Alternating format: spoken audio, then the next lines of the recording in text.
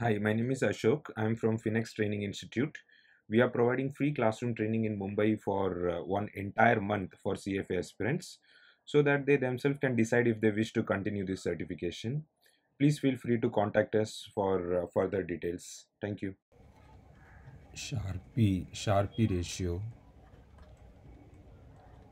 the formula for Sharpe ratio is return of the portfolio minus risk free rate divided by standard deviation of the portfolio. Say for example if return from the portfolio is 15 percentage minus risk free rate is let's say 3 percentage divided by standard deviation of the portfolio. So standard deviation let's say standard deviation i'm taking as uh, 10 percentage.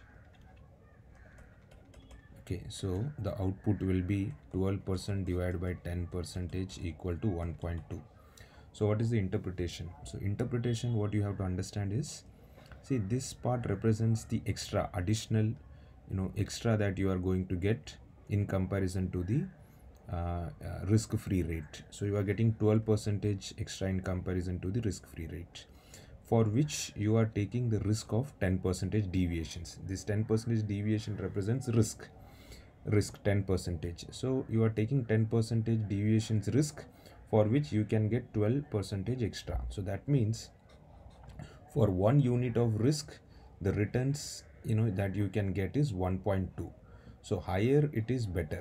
Okay this uh, you know numerator higher it is better. This is called Sharpe ratio. Basically it represents for per unit of risk in terms of standard deviations how much additional risk i can get from my portfolio. This is called Sharpe ratio. Thank you